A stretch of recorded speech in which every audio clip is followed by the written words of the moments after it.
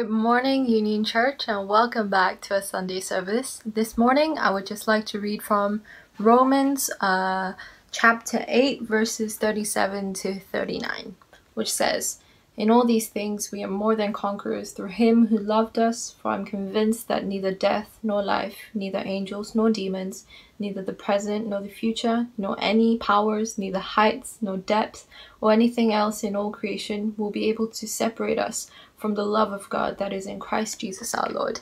And that is a promise we can hold on to this morning. Um, if we are going through any struggles or if there's anything heavy on our hearts, that we will be able to hold on to that as our hope um, and reflect on those words as we worship Him this morning.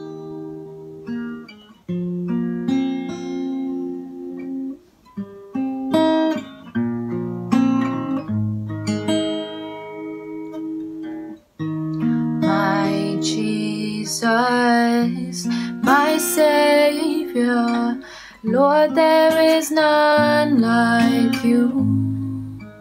All of my days, I want to praise the wonders of your mighty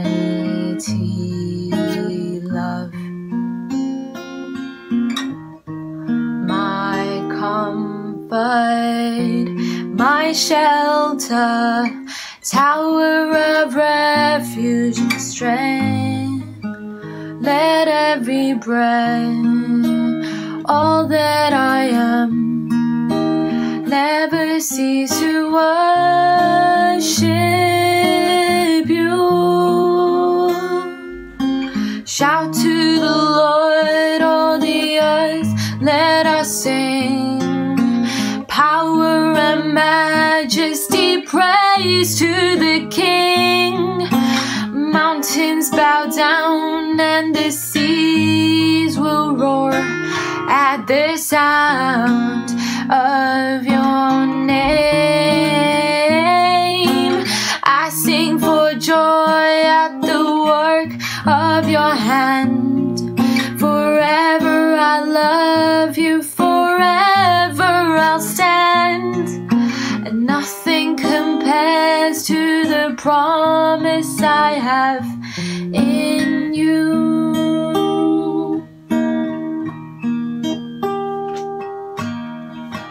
My Jesus, my Savior, Lord, there is none like you. All of my days, I want to praise the wonders of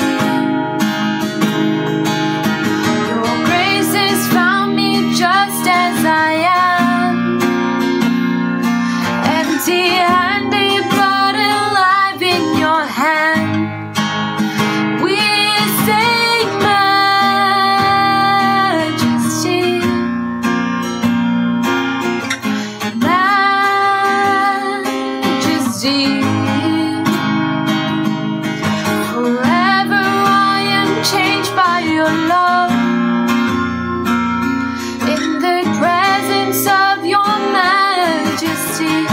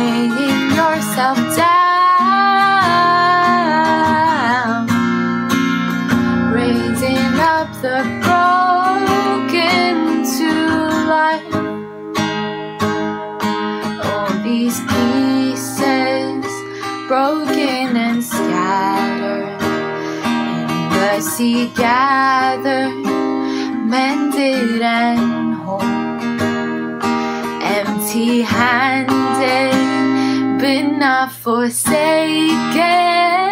I've been set free. I've been set free. Amazing grace, how sweet the sound that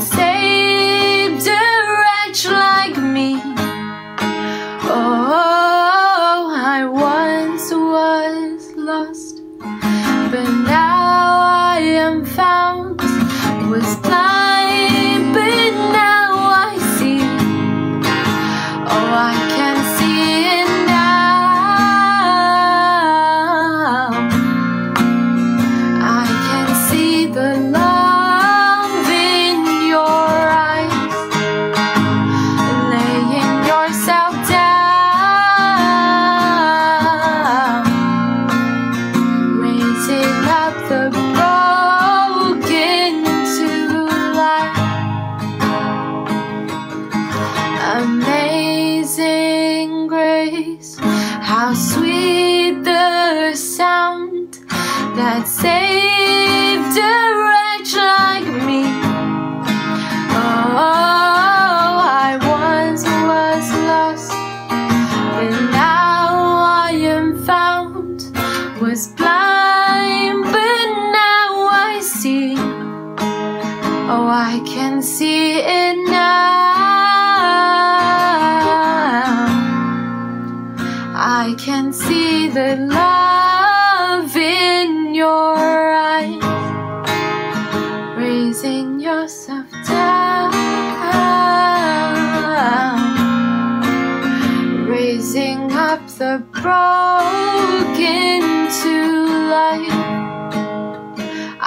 can see it now.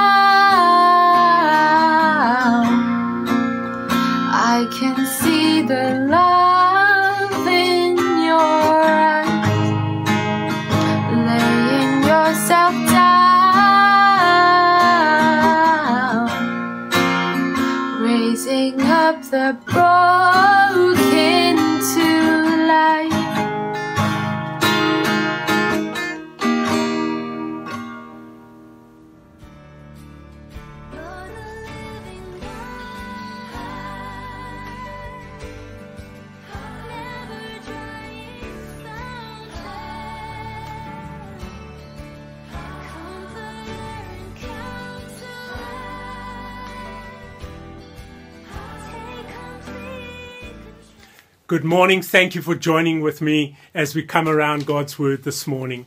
As I was preparing this week, I was reminded of a story of a group of men who went out on a, a camping expedition. On the first night that they were camping, they made a big bonfire. And as they sat around the fire that evening, they started exchanging stories. As you know, in those uh, situations, stories can get rather exaggerated. And the subject went from one to another. And finally, they had come to discussing uh, their macho authority in their homes, that they were the boss. And uh, the stories got better and better. And finally, one man blurted out, he said, You know, every time my wife and I have an argument, it ends with her on her hands and her knees in front of me. Well, the other men were quite impressed with this man and they begot, began to answer, ask questions. He seemed a little bit reluctant to answer those questions. And finally, after pressing him, they said, What does your wife say to you? Is she crying as she says sorry? And he said, Well, what my wife actually says to me is, Get out from under the bed, you coward, and fight like a man. Well, I've entitled my message this morning, Get on Your Knees and Fight Like a Man. We're in the book of Ephesians. We're looking at Ephesians chapter 6. We've been speaking about the armor that God gives us for the spiritual battles that we face. And in verse 18, we read the following Pray in the Spirit at all times and on every occasion. Stay alert and be persistent in your prayers for all believers everywhere. In the NIV it says, and pray in the Spirit on all occasions with all kinds of prayers and requests. This is what you need to keep in mind. Be alert and always keep on praying for all of God's people.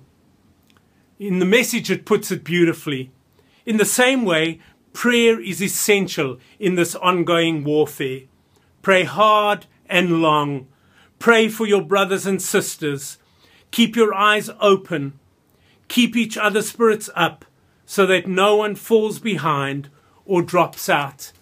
As I read these verses, it made me think of the time when Karen and I were ready to move into the church manse at Union. The church trustees had worked on the manse, they had done a lot of needed maintenance, and the walls had been painted, the floor had been redone, the electrical wiring had been concealed. It looked beautiful. We went to the house and we saw it, and we were ready to move in. But we were told, you can't move in just yet. The reason being was that the power had not been connected. And although there were power sockets there, there were fixtures on the, the wall and light bulbs in those fixtures, there was no power. When the power was finally connected, we were able to move into the manse and enjoy the manse. And you know, we've been looking over the past few weeks at the weapons that God gives us for the spiritual battles that we face. He gives us armor that enables us to face those spiritual battles and to have victory. We're fighting those battles from a position of victory because Christ has already won the war. We've looked at each piece and we've looked at what they represent and how we should apply that in our lives. We spoke about the belt of truth, the breastplate of righteousness, the shoes of the gospel of peace, the shield of faith, the helmet of salvation, the sword of the Spirit. God has given us every single piece and it's ready for us to use. But now in verse 18, Paul is saying to us that the armor is not the complete picture. There's still something that is so important. And like the church manse that looked so good, it looked finished, but it didn't have power, so we can be decked out with all the armor of God. But until we plugged into his power, we're not ready to fight the battle. In Ephesians chapter 6 verse 18, Paul is giving us the final piece of the puzzle, the source of our power in this battle. This power source enables us to use each piece of armor the way it was intended to be used. He says that in order for us to stand and fight and to have victory in the spiritual realms, we need to be on our knees. We need to be praying. We don't simply include prayer in our daily routine. Prayer has to become our lifestyle. This is the cord that binds all the armor together. This is the key that actually turns the armor on and makes it effective. This is what gives the sword of the, er- the Spirit its edge and allows us to drive back the enemy in the battle. When we look at the way Jesus uh, defeated Satan by using God's word, it's very important for us to remember that before Jesus was tempted, he spent 40 days praying and fasting. And it was that prayer and that fasting that prepared him to use the sword of the Spirit as effectively as he did. Because even with the entire armor in place, if there is no prayer, well, then we're simply all dressed up with nowhere to go. As we look through the Bible, you will see again and again, as you look through history, there was never a major victory. There was never a major movement of God. There was never a major breakthrough or an encounter with God that did not involve people coming before God on their knees in prayer. It's when we earnestly come before God in prayer and we communicate with Him that God moves. The church was born, it was started when men and women were on their knees praying. When you look at the ministry of Jesus, you see the importance of prayer. Before Jesus taught, he prayed. Before he was about to heal, he prayed. Before he died, he prayed. Prayer was essential in the life of Jesus. Every morning he rose and he went to a quiet place and he was on his knees before his Father. Christ's entire ministry shows us the importance of prayer. His victory while engaging in spiritual battles was determined by a lifestyle of prayer. Now, Paul mentions prayer as the last thing as he goes through the armor of God. But I want to assure you this morning, it's not just an afterthought. What Paul was doing is he was keeping the best for last, saving the very best for last.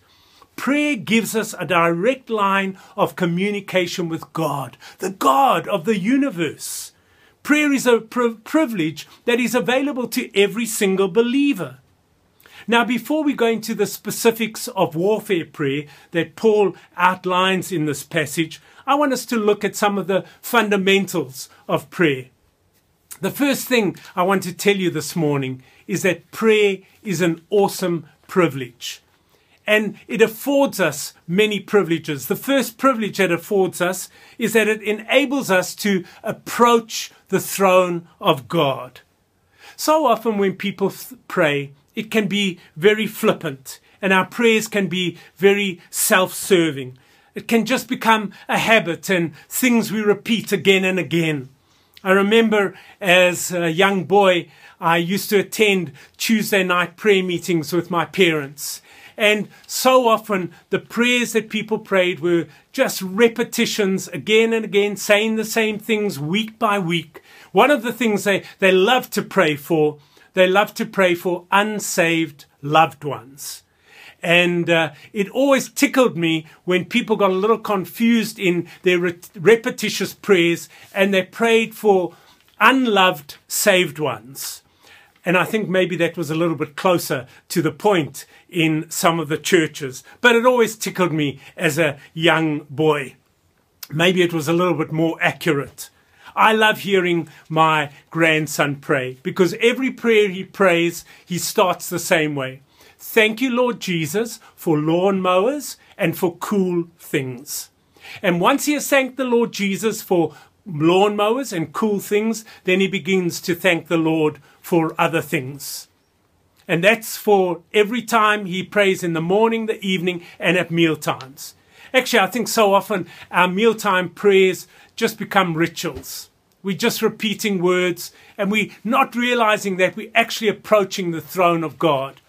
I think our prayers would be very different if we actually understood the fact that when we pray, we are literally coming into the very presence of God. This is an awesome privilege.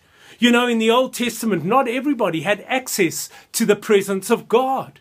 As a matter of fact, it was only the high priests and some prophets that had access to the presence of God. Most people didn't have that opportunity.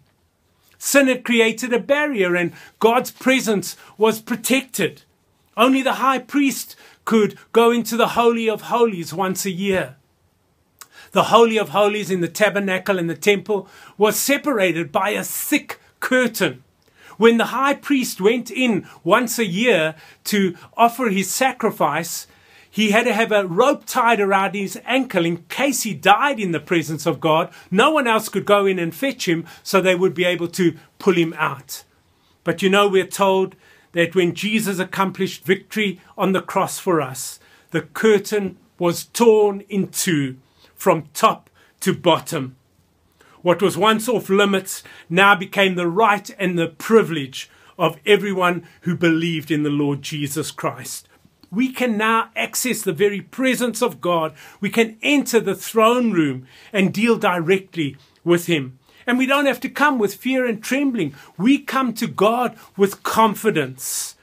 We come knowing that we have the right to be there through faith in Jesus Christ.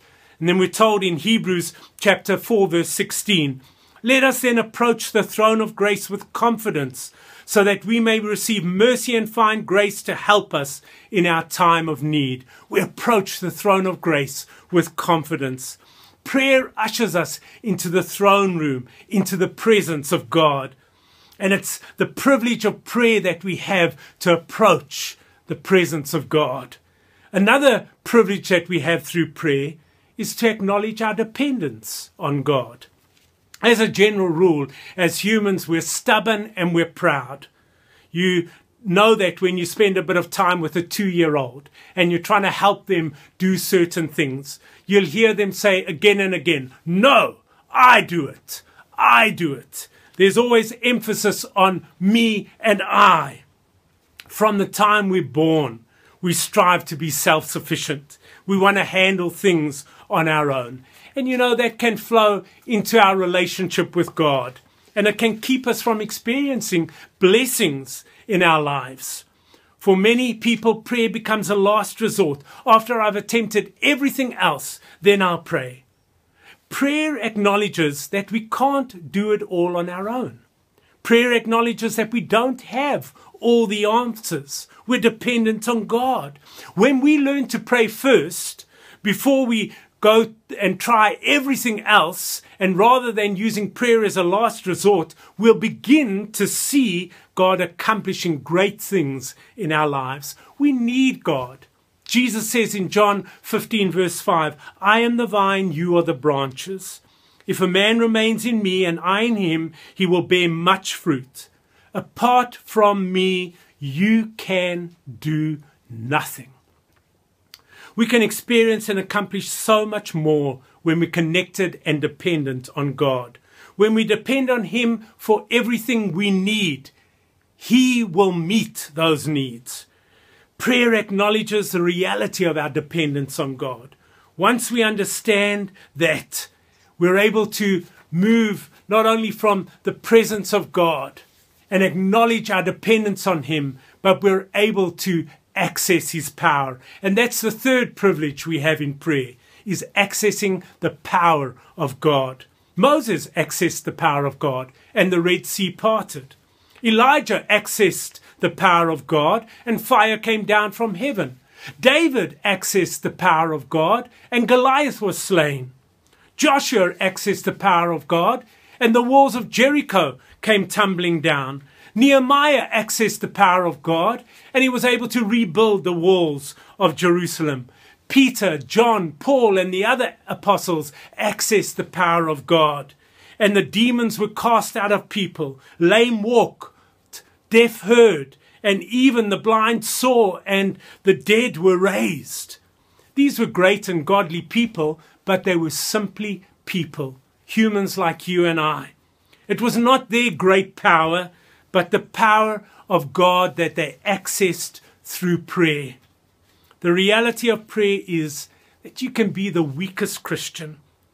And at any period of time in your life, at any moment of the day, in any circumstances, you can cry out to God and instantly have the resources of an infinite sovereign God at your disposal as you cry out to Him. Prayer gives us that access to the very power of God. Are you accessing His power through prayer?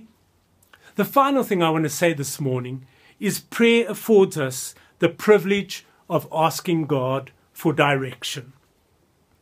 We don't have to do life on our own. We don't have to make the tough decisions of life on our own. The Bible tells us that God has a plan for our lives, a good plan for our lives, that He wants to lead us and guide us and direct us. He wants to show us the way. But for some of us, it's so hard to ask God to lead and to guide and to direct us, just to stop and to ask Him to show us the way. They say that many men will not stop and ask for directions even when they're lost. And I guess I've done that sometimes myself. Why? Why don't you stop and ask for directions? Well, then you've got to acknowledge you're lost. And that's exactly with us. When we ask for God, God for directions, we're acknowledging we're lost. Many of us try to figure out life on our own without asking God for direction, and God wants to help us. We can't do life on our own. God promises us that He'll lead us and direct us. Those who ask Him for help, He will show them the way, and He wants to show us the way. In the book of Psalms, you read again and again how the men and women of God ask God to lead and direct them. Psalm 31 says, Since you are my rock and my fortress, for the sake of your name, lead and guide me. And God did. Psalm 143, verse 10 Teach me to do your will, for you are my God. May your good spirit lead me on level ground. God will lead us, He will direct us when we ask Him to be involved in our lives. That's one of the privileges that we have in prayer to be led and directed by God. We have such a privilege to communicate with God, the King of Kings, the Lord of Lords. And in Ephesians, as we read about warfare prayer, we understand the importance of communicating with God in the battles that we are facing, in this warfare. He's won the battle. We need to be communicating with the commanding officer. We cannot have victory if we are not relying on God and relying on His power and accessing His power. You will know that in the military there's a rigid chain of command. Before any military operation is carried out, the orders are re- relayed from the commander in chief all the way down the chain of command to the soldiers who are actually carrying out the mission. This ensures that everybody stays on the same page. And the smaller operations that are being carried out are in view of the bigger picture of the war. As soldiers, you rely on your commanding officer to give you orders regarding the battle. As we engage in spiritual warfare, there is also a chain of command. God is in control. God knows the bigger picture. He's actually won the war and is dealing with these little battles that we are or, or, or that we are fighting in. He relays the orders to each one of us through his spirit, and he does that each day of our lives. When we're in communication with him and receive those orders, we get a better picture, a clearer picture of the fight that we are involved in. Now, if we see us, ourselves as soldiers of the King of Kings, it would really make no sense for us to enter the battlefield without first spending time with the commander in chief and receiving orders from him for that day. That only happens when we pray. You know, I've said this morning, we have the wonderful privilege of prayer for every believer. And the privilege of prayer allows us to approach the throne of God. It enables us to acknowledge our dependence on God. It enables us to access the power of God. It enables us to ask God for directions. I want to challenge you to do that. Next week, we're going to look at the specifics of warfare prayer that Paul speaks of in this passage. But in this coming week, I want to challenge you spend time with God in prayer. It's an incredible privilege. Take hold of that privilege. Acknowledge that you need God. Come into His very presence. Acknowledge your dependence on Him. Access His power and ask Him for direction. The Lord richly bless you in this coming week.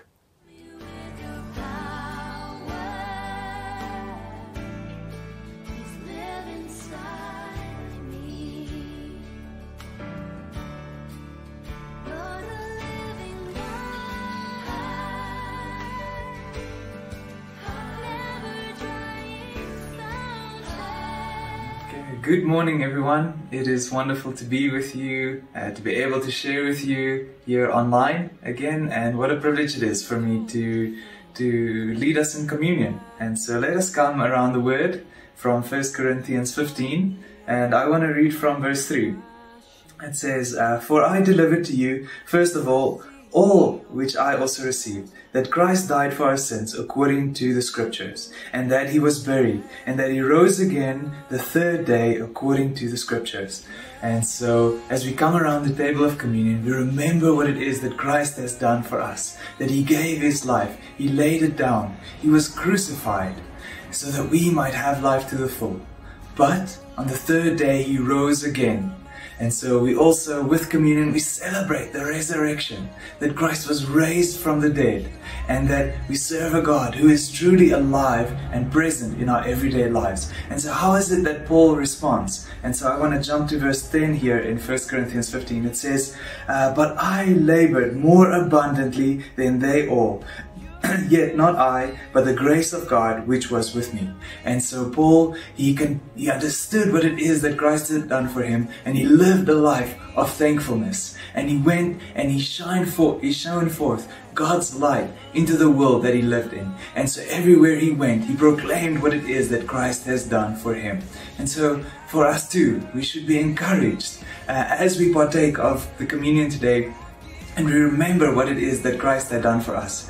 Uh, it should encourage us again to go live passionately for the Lord uh, wherever we might find ourselves. Uh, to do the things that He has called us to do with passion and live purposely, purposefully for His kingdom. And so let us just pray together uh, before we partake of the bread and we drink of the juice.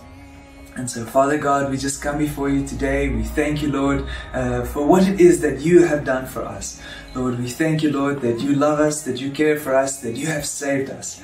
And so, Father, as we partake of the emblems today, we remember what it is that Christ had done for us, that his body was broken for us, his blood was poured out for us. And so, we are so thankful that in him now we can live life to the full. And so, Father, we just we just thank you, Lord, uh, that we can partake of this communion together and that we can worship you with this life that you have given us. And so, Father, we come before you now in the name of Jesus. Amen. And so, amen. Thank you very much, all. And so, let us partake of the emblems and let us worship the Lord uh, from our hearts as we do so.